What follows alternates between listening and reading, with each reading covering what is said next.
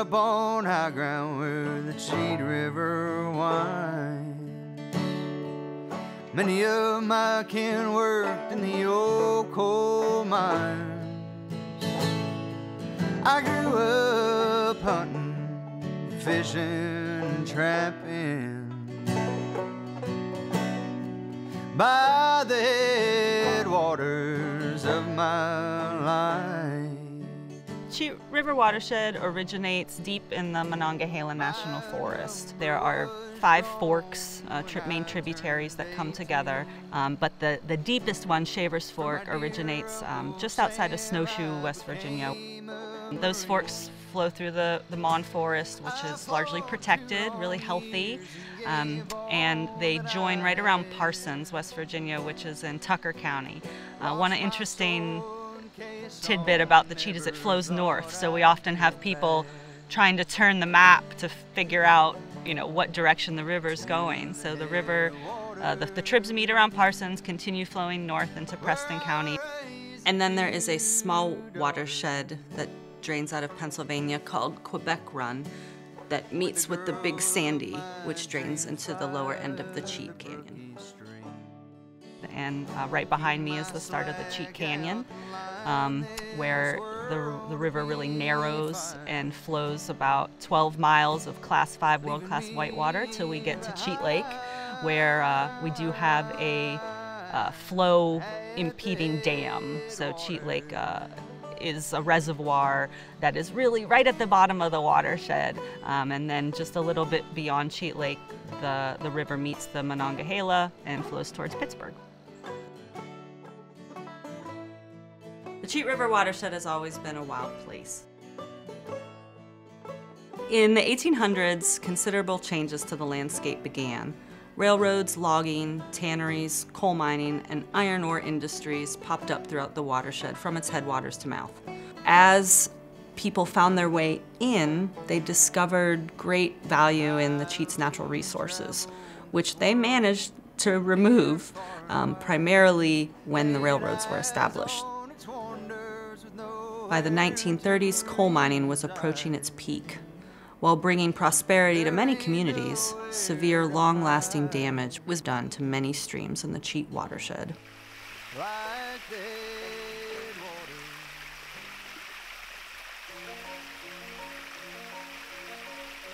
AMD, or acid mine drainage, was prevalent throughout the upper Freeport coal seam because the overburden was made of pyritic material, pyrite, aka fool's gold. All you need to do to create acid mine drainage is expose that pyrite to air and water. So you have pyrite plus water plus air, and you create sulfuric acid and hydrogen ions.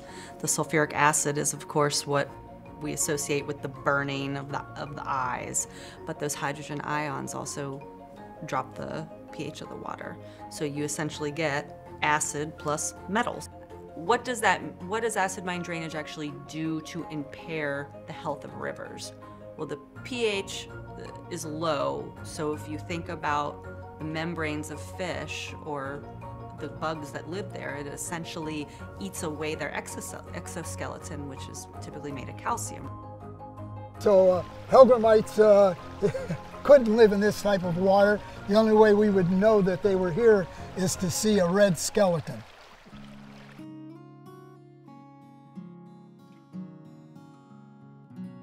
The Cheat was West Virginia's first commercially rafted river. Every season we saw tens of thousands of paddlers paddling through the Cheat Canyon. So in the spring of 1994, there was still an active mine operation not far from where we are now uh, along Muddy Creek that was uh, actively mining coal and they got a little creative and they uh, had drilled a essentially a drainage hole, borehole, that went from their mine complex to an abandoned mine complex. Um, and they did that because they were able to then make their polluted water disappear and they didn't have to treat it. So that worked for a while um, until that large space filled up with water. And once that, that underground mine filled up with water, um, there was no place for the pollution to go. So in that very wet spring of 1994, so it blew out the side of the hill and poured tens of thousands of gallons of highly, highly concentrated acid mine drainage into Muddy Creek.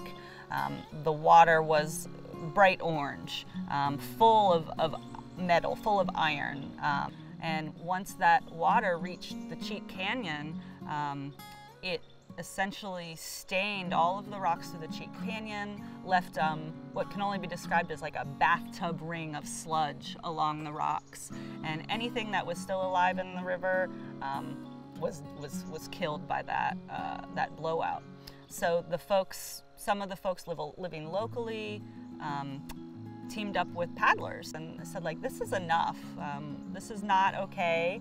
Um, we, we can't have our rivers running red and, and fish dying and you know paddlers having to bring um, water bottles to flush their eyes out because the water is actually stinging the, the membranes of their eyes. It was so acidic. You know, uh, the pH scale goes from 1 to 14. And You want your water to be a 7, which is neutral. This water is, you know, less than 3. We're talking about the, the pH of vinegar um, is how bad it was. If the pH changes from 7 to 6, that's an increase in acidity 10 times. If it decreases from 7 to 5, that's an increase in acidity of 100 times. If it changes from 7 to 4, that's a 1,000 times increase in acidity.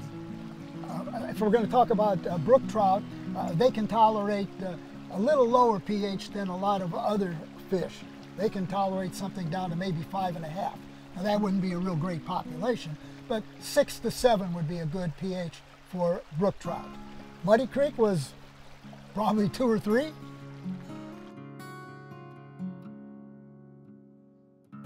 The organization came together around really 94, 95, and it started with just volunteers. You know, there was no paid staff. Um, the first money that the group ever raised was from a trash cleanup. They went out and they gathered scrap metal, they took it to the dump, and that, you know, 20 some bucks lived in a mason jar on our one of our founders' refrigerators for a year until they could figure out how to form a 501c3 and what to do with it. These founders, the, the people in the beginning who banded together, people like Dave Bassage, Deb Wise, Michael Messer, Troy Tichenal, and many other locals that live right in Ruthbell, paddle makers like Jimmy Snyder, boat builders like the Salajis. They came together not only because this impacted their, their livelihood, but this was in their backyard. It was a place that they spent time. It, it was their home. As they were gathering information and understanding the impacts to the cheat more, we quickly learned that we needed everybody's help. We needed all hands on deck. Nonprofits like Friends of the Cheat, West Virginia Rivers Coalition, American Whitewater, to government, county government, state government, agencies from Office of Surface Mining to the West Virginia DEP and DNR, our university partners, and industry, notably Anker Energy. Anker Energy funded Friends of the Cheat's very first acid mine drainage treatment project on Greens Run, on the middle fork of Blood Lagoon. And that project was the first. Following that project, we finally had some government money available to work on the problem. Being the squeaky wheel brought attention from other groups that took different approaches than Friends of the Cheat. And as a result of everybody's collective effort, we now have a $10 million treatment plant on Muddy Creek that has restored the fishery of, you know, a arguably one of the most degraded watersheds in the country.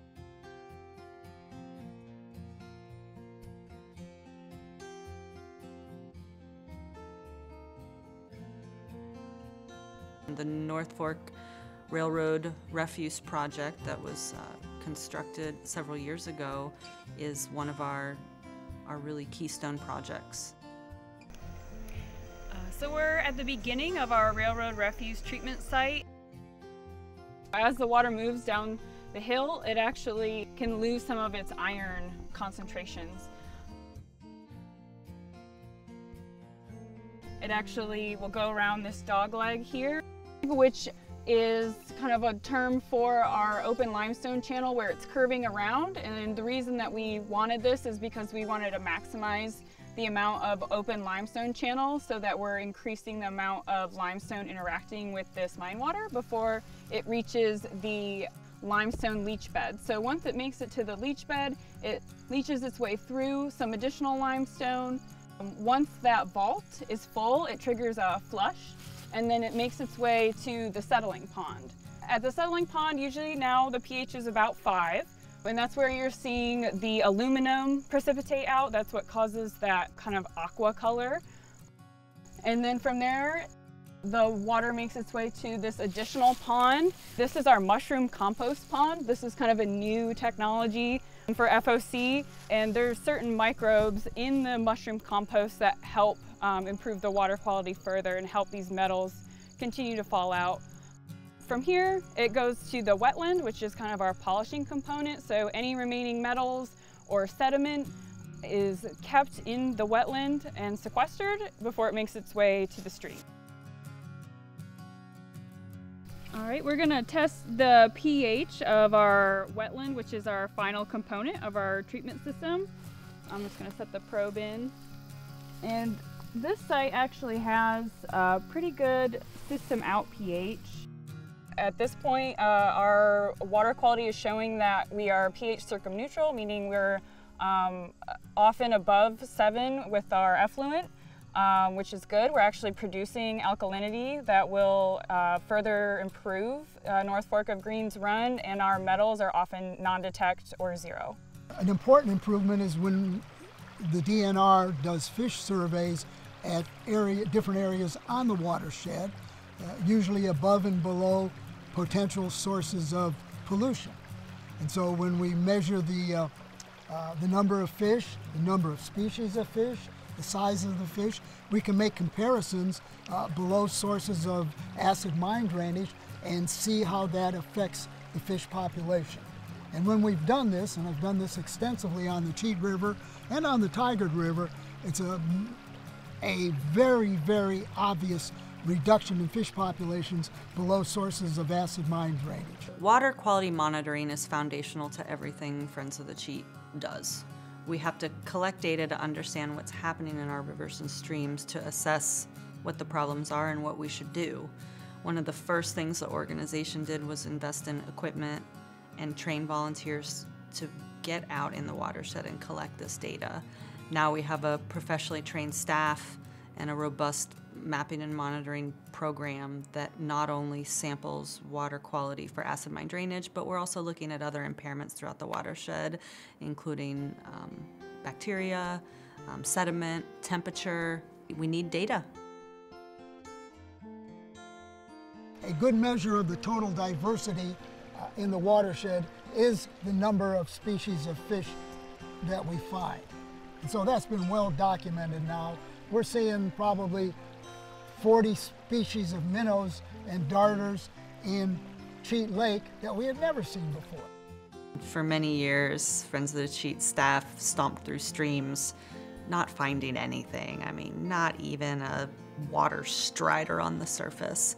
So to be able to see fish return to streams like North Fork of Greens Run and to see trout at the mouth of Muddy Creek and the Cheat is the most rewarding part, I think, of our job. One thing that we at Friends of the Cheat try to emphasize is the importance that everything is connected. Um, everything down to your little stream bugs, your benthic macroinvertebrates, all the way up to uh, the bald eagle or your megafauna um, is connected through um, the ecosystem. And really, we try to emphasize the importance of these small organisms and what they mean in the watershed and how they can affect um, our species at the top of the food chain. So we tend to monitor some of these species that can be indicators of good or bad water quality depending on their presence or absence. Uh, one of those is the eastern hellbender, which is a two foot long salamander uh, native to North America. They're, they're pretty much gentle giants and spend most of their lives under rocks in the stream, and therefore are pretty good indications of good water quality when they're present in a system. So, Friends of the Cheat recently conducted our first uh, environmental DNA monitoring effort this fall uh, to determine where these species may be present or absent in the Cheat River watershed. Two interesting things we've learned from this study. One, hellbenders were detected in areas that were historically dead for aquatic species, specifically the section from Rowlesburg to Albright. This is just one more example of the successful restoration of the Cheat River. For the main stem to be able to support a pollution sensitive species like the hellbender is an immense achievement.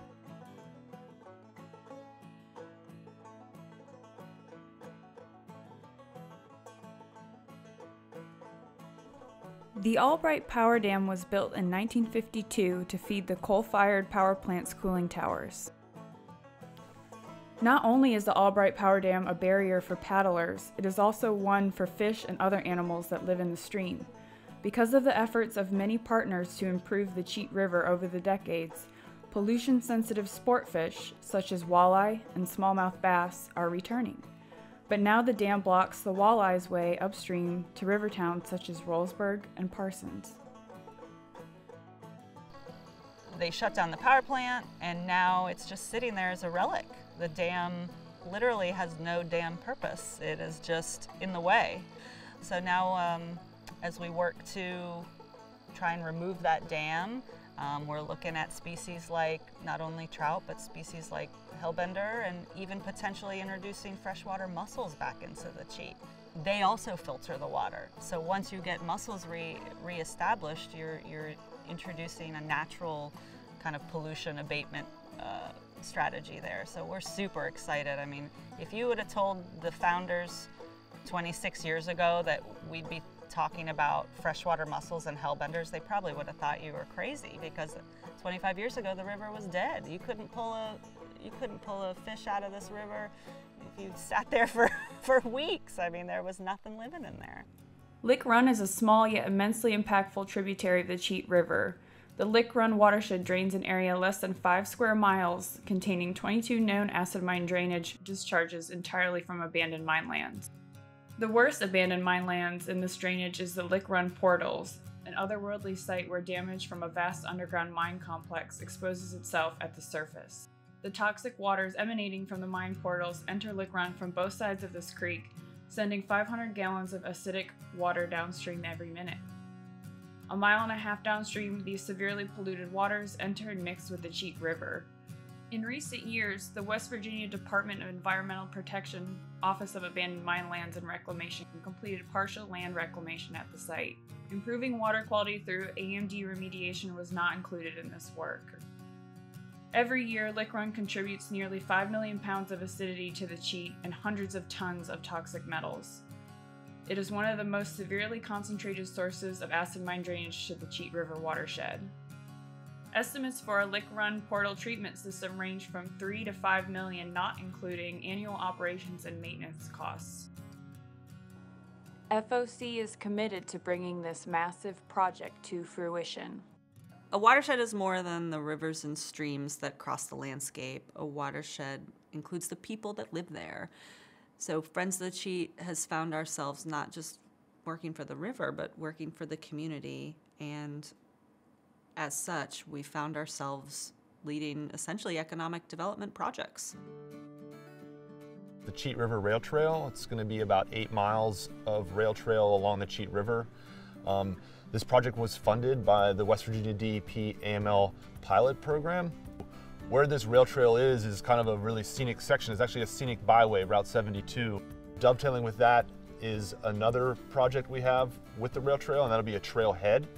Uh, and that is another massive amount of money coming for us to help build out, again, the economic development of surrounding outdoor recreation. This trailhead plenty of parking, I think over 40 cars be able to park there, and it'll provide foot travel, non-motorized again travel along the trail to the along the banks of the Cheat. So you can scamper down the trail, get to your favorite fishing hole, you can ride your bike, you can view all the rapids, you can get in the water and swim um, in a safe way. And you're gonna have bathrooms and ability to park your car, leave for the day, and enjoy the river on the trail. Um, so those, again, combined, that's over $4 million worth of construction projects and infrastructure projects in Preston County along the river. So that brings jobs, that brings local, uh, you know, opportunity for outfits to work, and then uh, with, with that comes people, and people are going to buy things. They're going to buy bikes. They're going to buy food. They're going to buy ice cream at the ice cream shop. You, know, you build it, and they come. We have the Allegheny Trail that runs through West Virginia. It's 330 miles, uh, and it starts up at the Mason-Dixon line and then goes south to the border of Virginia, where actually we'll meet the Appalachian Trail.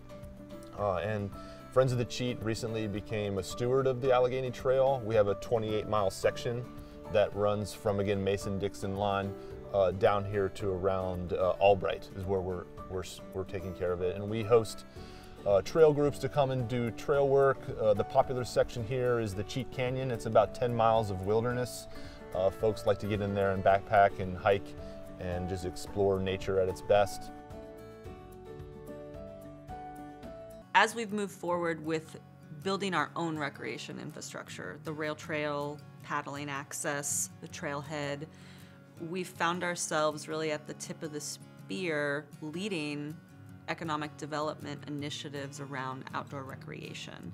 And as such, Friends of the Cheat, in partnership with Downstream Strategies, is working to build out the state's first non motorized trail network modeled after uh, the Hatfield-McCoy trail system in southern West Virginia, but this is for non-motorized trails. What's that mean? The best for bikes and the best for boats. And we're going to see in coming years a large investment, I've been told by tourism professionals, we're, we're going to be making actually the largest investment in tourism infrastructure and marketing that North Central West Virginia has ever seen as part of this project. There's a lot to be said about Friends of the Cheat's annual fundraiser, the Cheat River Festival. Uh, we had our first one in 1994, the same year that the organization formed, and it has been a huge outreach event by the banks of the beautiful Cheat River ever since each year, three to 4,000 people visit this site on the first weekend of May to celebrate the mighty Cheat River. People come in from all over the world. It is the kickoff to the summer paddling season. The Cheat River Festival is really integral to FOC's budget, yearly budget. Uh, it can raise up to 40% of our unrestricted fundraising we don't only need jobs, but we need a place where people want to live. And people want to live where there are nice things to do outside and where they have a community that they feel part of.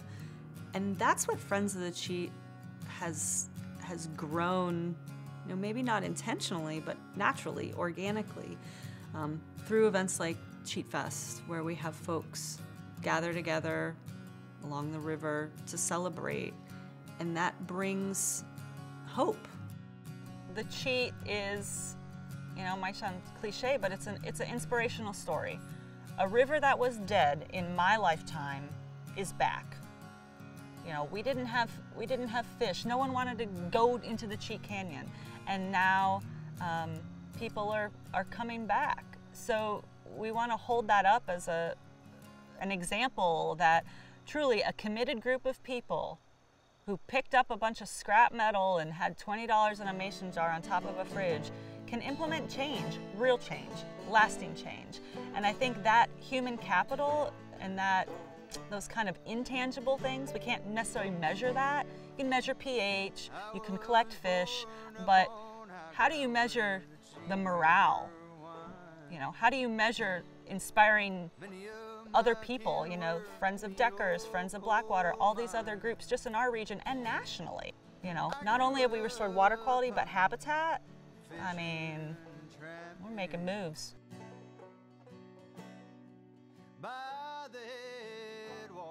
For all of the success we've had, and by success I mean the river, right? The river is healthier, that the species are back, things are improving but we do see setbacks. We do have setbacks. Um, the incident that happened on Muddy Creek last year, we saw a big surge of very polluted acid mine drainage coming down the Cheat into the canyon. I mean, it was it was very reminiscent of 1994. I mean, people were upset.